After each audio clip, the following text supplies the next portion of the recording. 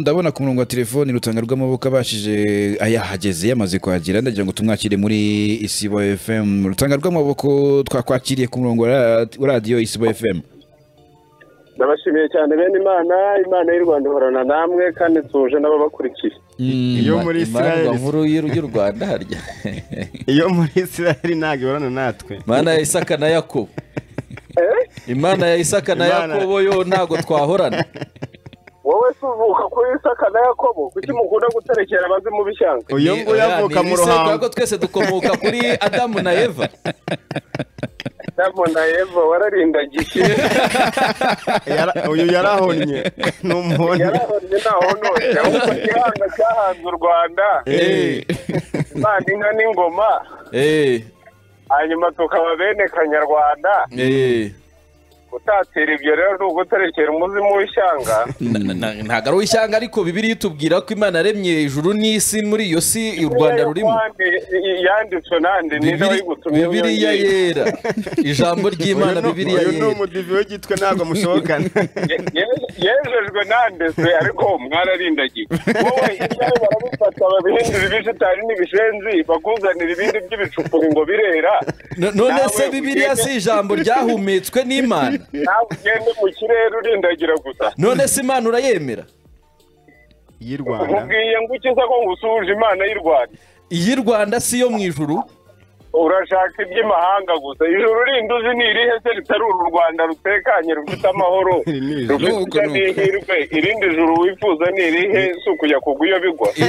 None se utekereza ko nyuma y'umuzuko abera tuzazamurwa mu ijuru? Ijuru nyako, rihe se?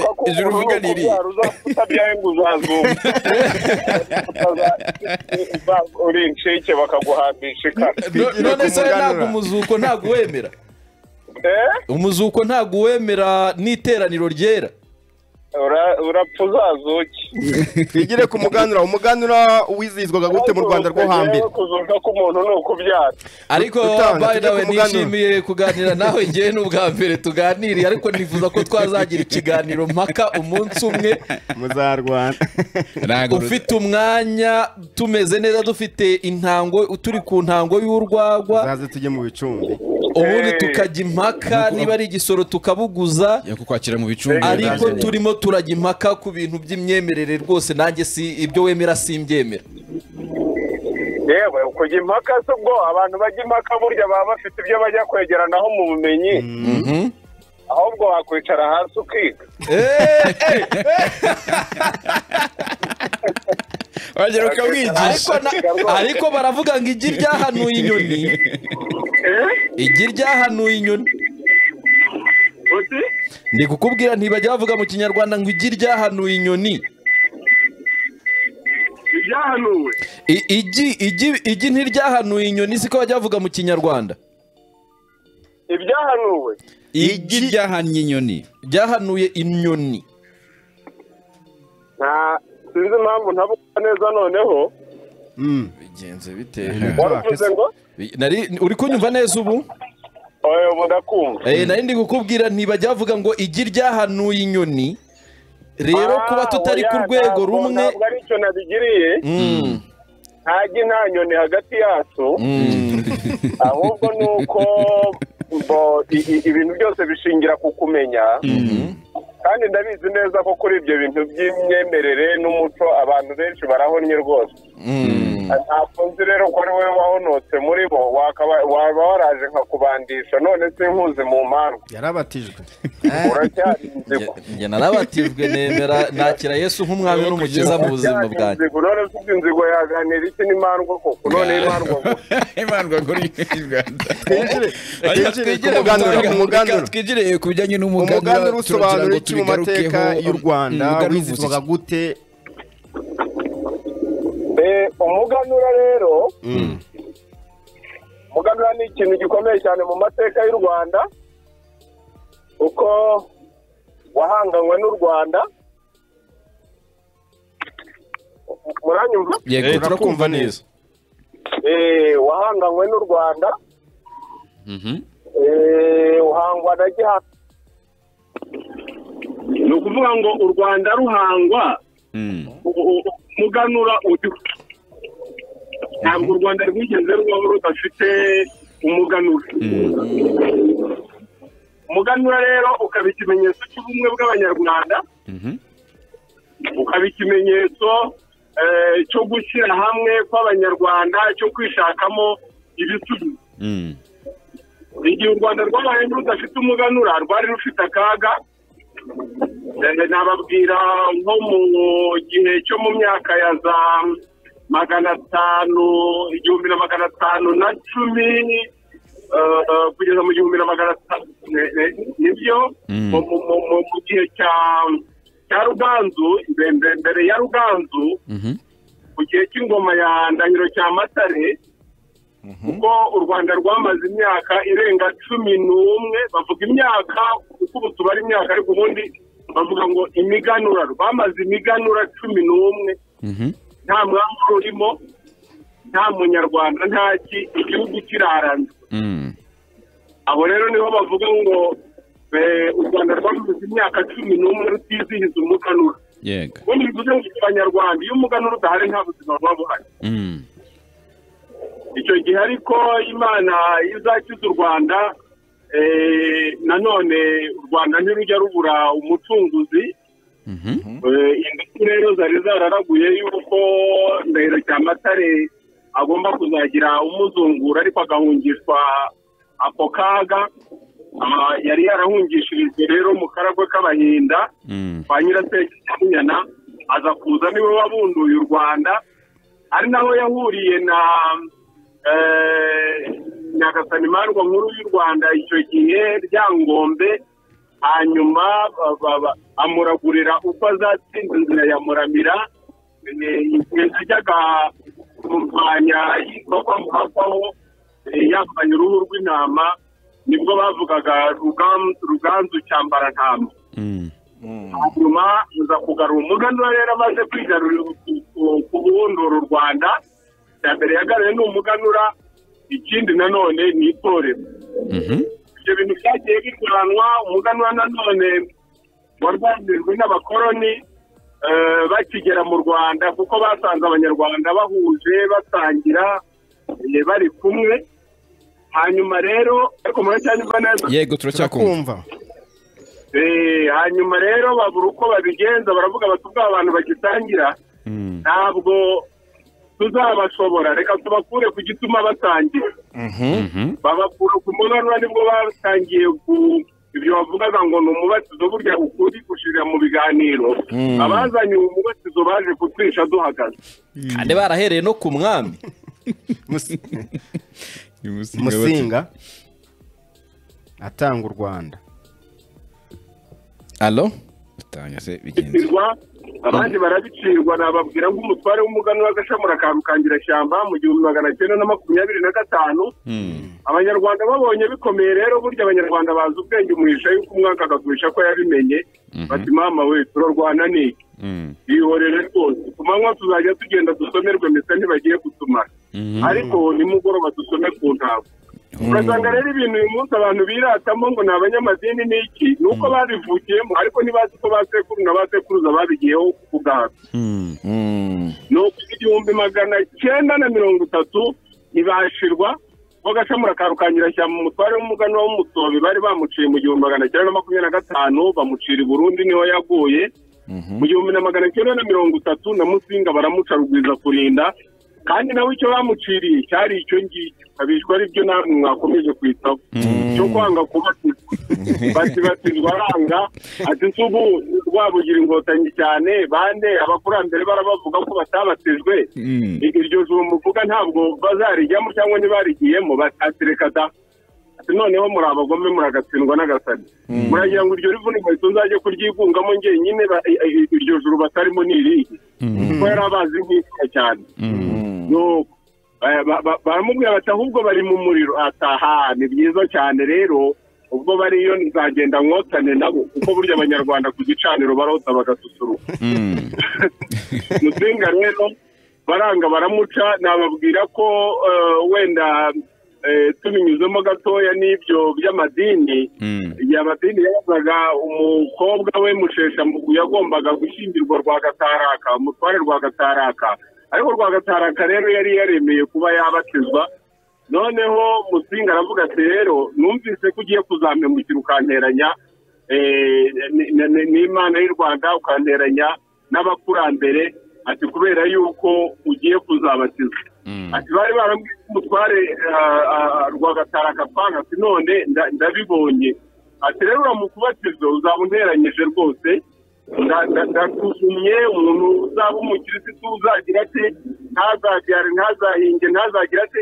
Kuri we ni uko yabonaga yuko atari ibintu by'i rwanda. Sibyo nshaka gutindaho? Babona ko batazashobokana baramuca bamucira ikamembe rubanda ruranga ruramukurikirayo n'amaturo bati turakuramya mwami nyagasani babonye ko batazabishobora bamucira imofa muri kongo ni ho yaguye. I- ibyo bintu byose kugira ngo abanyarwanda bahinduke nk'inzuki zi- zitagira urwiru inzuki zitagira urwiru ndetse basigare nta mwami basigare nta bayobozi bahinduke intatane. Bahinduke imbehe ariko imana ishimwe barakomeza bakajya babikora mu miryango yabo bihishahisha bigeraho umuganura uranacika rwose. Eh, nyuma aho bavuga ngo bazanye rero ubwigenge ubwigenge se abantu bigenze wigenze wowe uri mu bintu bidashingiye ku muco wawe uvuga imana ya isiraheli ujya gusabira igihugu cy'u rwanda ukagisabira mu izina ry'imana ya isiraheli kandi abanyarwanda bafite uko basabaga ubwigenge se bu- buganjijwe n'imbuto z'ahandi imbuto nkuru ntawe ukizitayeho eh, ubura amasaka isogi n'inzuzi. Ubwigenge se buzanye umwiryane mu bantu. Abantu bakaryana kurinda kugeza kuri jenoside ni bwigenge ki? Ariko umuganura usa n'ugarutse nko ku ngoma zabanje muzi ko nko ku ngoma ya habyarimana abantu bizihiza ku muganura ariko bidakomeye cyane eh, itariki n'ubundi yari iriho ngira ngo ni iya mbere z'ukwa munani ariko bidafite umwaka kuko icyo gihe n'ubundi hari amacakubiri mu banyarwanda ndetse n'igice kimwe cy'abanyarwanda eh, ba- bari ku ruhande bari no hanze y'igihugu. Icyo gihe rero nta abantu baba bafite. Imana y'u rwanda izadufasha rero eh, igihugu kimaze kubohorwa eh, noneho ah, nanone umukuru w'igihugu ngarukanzu nanone yongera kugarura itorero yongera kugarura umuganuro. Ubwo mbivuze munsi ya make mu mateka. Yego yego. Uyu munsi wa none rero turizihiza umuganura ni bwo mubona na leta y'u rwanda yashyizeho itegeko y'uko ku wa gatanu wa mbere w'ukwezi eh, kwa munani kwa kanama kanama kanadira nzeri nzeri n'imfura mu mezi abarundi bayita nzero niba hari abarundi badukurikiye ndabasuhuze cyane ni abavandimwe. Noneho rero eh, kuri uwo wa gatanu tukizihiza umuganura. Bikaba ari n'amahire kuri twebwe eh, na nyagasani impamvu nkuru y'u rwanda n'abandi bose bahonotse. Kuko uwa gatanu burya ni akadogo umunsi twizihizaho imyemerere yacu ya kinyarwanda eh, uko abanyarwanda bemeraga imana ubumana muri bo mu muco wabo. Noneho rero akaba ariho nanone twongera kwizihiza iby'umuganura bijyanye n'ubumwe n'ishingiro ryo kwigira by'abanyarwanda urumva amata ababyaye amavuta Mm. Bo tugarutse ku bijyanye n'amateka y'umugani n'uko byagiye biza n'uko byagiye bihinduka n'uko byagarutse ariko se abanyarwanda bamenye ko niyo myitwarire ikwiye kuranga abanyarwanda ku munsi w'umuganura imyitwarire ikwiye kuranga abanyarwanda kuri iyi minsi kuri uyu munsi w'umuganura Mm. na- ubundi umuganura nkunda kubivuga ni niwo muterekero mukuru u rwanda rwagize kandi rugira Mhm. umuterekero biva ku nshinga gutereka Mm. ni ukuvuga eh, gutereka era ira ni ingereka ngirira Mhm. eh, gu- gutegurira gutegurira uwuhaye icyubahiro Mhm. Eh, ni abakurambere rero baba bavuga bakavuga rero kubategurira bwa mbere imitima yacu Mm. Kubategurira amafunguro twateguye ngo dusangire nabo kuko ni iminsi yabo turya burya batarabayeho ntitwari kubaho Okay. noneho rero kugira ngo batwikomerezemo u rwanda rwe kuzima Mm. burya niyo turirimba indirimbo y'igihugu ngo abakurambere b'intwari bitanze batizigama ni- ni cyo ni cyo tuba tuvuga Yego. ni ukugira ngo n'uzava ikantarange azasanga umutima wabo ugiturimo Mm. umuganura rero ni umwanya wo gusubiza agatima impembero tukareba ko ah, ah, twahanganywe ubumwe bwacu Mhm. kandi ko iyo tubuvuyeho n'icyabudukuraho cyose eh, u rwanda ruba rugize ikibazo Mm. ko u rwanda ruba ru- ru- ru- rugize akaga niyo na yo mpamvu dutangirira ku ntango kugira ngo dukomeze cya gihango intango intango ni icyo gihango Mm. gusoma ku ntango ni ugusangira icyo gihango noneho rero abantu ba- bakagisigasira. Tugasangira wa mutsima. Ni ni uruziga. Ni ubumwe bwacu nizenguruka duhure. Yego. Umutima wakewe kuri ya nkono ngo havuyemo umwe ntitwarya ni amashyiga ishyiga ry'inyuma. Bivuze ngo mu banyarwanda nta n'umwe ugomba kuvamo. Umuganura rero ni umunsi wo kutwibutsa bwa bumwe bwacu. Ni umunsi wo kugarura umutima w'i rwanda mu banyarwanda Mhm. ni umunsi wo kugarura u rwanda ku mitima y'abanyarwanda Mm. ni umunsi wo kugira ngo abantu bongere babe abantu b'i rwanda yego Eh, ni na yo mpamvu tuvuga ngo ibintu byose bikorwa kinyarwanda twambare ikinyarwanda turye ikinyarwanda ndetse abantu bongere bibuke ikintu cy'i rwanda ibintu by'i rwanda u rwanda rubu rw'i rwanda kuko i rwanda ni umutima Mm. Iby'i rwanda ni ibitajorwa. Urumva umuganura ubundi ni wo munsi mukuru uruta iyindi yego yego. Mm. ubwo ejo hateganyijwe ibihe bikorwa rero? Aho imandwa nkuru izaba iri kwizihiriza umuganura nibe bikorwa bihateganyijwe? Ni hehe bizabera? Uzaba urahagana he? Um, ubusanzwe tuzihiriza umuganura mu bicumbi mu kigo nyarwanda cy'ubuzima bushingiye ku muco cyangwa n'izindi gahunda zabaye ku rwego rw'igihugu. Ubu rero kuri iyi nshuro uh, ku busabe bw'abantu bati ntimukabigire mu bicumbi gusa mujye mubizana no mu ntara kuko twabonye ko muzana ibintu bishingiye ku kugaragaza tutabona n'ahandi Mm. Uh, no mu butumire bwo ku ivuko ubuyobozi bwaradutumiye Mm. tuzajya kwifatanya rero n'abo mu bibungo bya mukinga aho imandwa nkuru y'u rwanda avuka Mm. kwa sogokuruza rutanga rw'amaboko eh, ni ho muganura tuzawizihiriza Mhm. Bikazaba ari na byiza cyane kuko tuzaba turi kumwe n'abantu bakuru bidusangize uko babibayemo urumva twebwe n'ibyo twakurikiye mu mateka ibyinshi twasanze byarashize Mhm. noneho abo bazaba bagihari dufite nk'umugisha sogokuru ubarizihiza isabukuru y'i- y'imyaka ijana n'umwe Mhm. Ni imfura ya sogokuruza sogokuru yitwa nkikabahinzi ibindi ugira by'imfizi mu nyinya baharamba ntuzabahande. Urwego rw'inkindu bo bateraho inzego bakuririraho. Yego. Ni imfura rero ya sogokuruza rutanga rw'amaboko nyagasani marwe nkuru y'u rwanda. Aracyariho rero dufite umugisha urumva abo basaza hamwe n'abandi bazatuganirira be byinshi. Kugira ngo nko kuri ako gasozi rwose na- n'ahandi henshi nzi urasanga ari mu bantu bake bashobora kuba bafite nk'iyo myaka. Ubwo rero ni umunsi wo gusangira ubwo bumwe ni umunsi wo kwigira amateka n'umuco ku bicumbi nyirizina kuko niyo tuvuga mu bicumbi burya ntaho tubikomora Eh, ah, ah, tuzanahatanga icyigisho Mhm. Eh, ariko nanone tuzatarama kinyarwanda abantu bibukiranye ayo mateka habeho imbyino kinyarwanda habeho imikino gakondo navuga nko kubuguza igisoro eh, abana n'urubyiruko biyibutsa ibyo bakoraga mu mpeshyi tuzotsa runonko abantu ntibari babiherutse Mhm. Eh, kubona nk'umwumbati w'umuvunde wokeje ni- ni- ni- ni imboneka rimwe nyamara izo izo izo ndyo z'umwimerere nizo zatumaga abantu baramba eh, hasimbukwe urukiramende Mhm. byose kugira ngo abantu barusheho gusabana nta nubwo nzaba ndi jyenyine nzaba ndi kumwe n'abandi bahanga mu by'amateka mu by'umuco mu by'ubukungu ubuhinzi n'ubworozi nka nka dr. Rusa bagira icyo abantu baramuzi n'impirimbanyi eh, iharanira kuzahuka no gusubira hamwe kwa afurika. Yego. Eh, profesa nyagahene ni ikimana mu mateka abantu baramuzi. Mm. Abo bose tuzaba turi kumwe n'abandi batandukanye eh, n'abaturage. Ubwo rero nzishimira kujya gu- gu- gufatanya na- n'abaturage n'inshuti n'imiryango bo ku ivuko uzatubwira uko bizagenda ku munsi w'ejo. Ntekereza ko ari nawe uri kwerekeza ubu ngubu. Tuzabibasangiza rwose. Ubu ahubwo ngiye ku kindi gitangazamakuru gutanga icyigisho nk'uku namwe mwambamagaye yego yego. Ariko utaragenda rwose icyo ni igikorwa cyiza ndanagishimye ku giti cyanjye urakoze cyane mwene imana. Kandi rwose tugomba kugusapotinga n'abadukurikiye nabo ba- barabyumva. Ariko sinabura Ugomba ku- ugomba kugira gute kungira gute. Eh, tugomba Kugushyigikira. kugushyigikira. ariko umwanze kunshyigikira tukigomba Eh, ni uku- ni ukuri kose. Kunshyigikira kunshishira yego. Eh, kubashishira.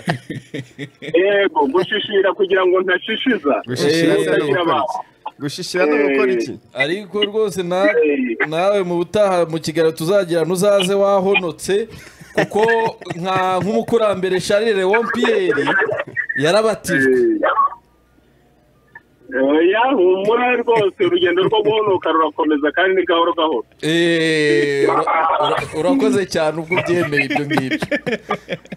Yego guhonoka ni gahoro gahoro rwose. Umu- umukuzo wo kwa byakuza cumu ngo byavuye he? Umukuzo wo kuba byakuza cumu yavuye hehe? Ubwo se urumva umukuzo ni umukenke ni ni- ni- ni- ni- ni ya macumu yindi mm. dushyira muri ya- ntango. Yego. Se urumva iyo dusomeye kuri uwo mukuzo tugahuriza hamwe. Siko kurwariza amacumu y'umwana? Eh, Eh, ni nko kuyatsinda. Erega urumva intango ni intango ni intangiriro y'ibintu byose Eh, intango ni igihango nanone Mm. iyo dusubiye rero ku ntango y'ibintu byose ku ntangiriro y'ibintu byose Mhm. bi- bituma bituma tutava ku isoko Mm, hanyuma tukagirana igihango mm. Urumva rero aho ngaho ntabwo dushobora gusubira inyuma ni- ni ikintu gikomeye cyane ariko iyo tutabigize nyine ni ikibazo. Ishyuke rero mwene imana. Yishyuka ndabashimiye bene imana. Turagushimiye natwe isibo fm turagushimiye cyane. Eh, imyiteguro myiza y'umuganura. Eh, kuri twese twese hamwe. Okay, ni rutanga rw'amaboko imandwa nkuru nk'uko abivuga maze kumva ahangaha kuri isibo tuba twamutumiye cyangwa se tumuhamagaye kugira ngo atubwire kuri uyu munsi w'umuganura cyane kuri benshi bamukeneye kumenya uko bigenda cyangwa se n'inkomoko yawo n'uko waje. N'uko ubu ngubu muba mugomba kuwizihiza wumva byose bigarutseho n'uko wizihizaga mu myaka yashize n'uko ubu ngubu bihagaze akubwira azerekeza ku munsi w'ejo. Numva na byo tuba dukeneye kubimenya nk'urubyiruko tukamenya ko uyu muganura wagiye uza cyangwa se nuko ukorwa buri gihe.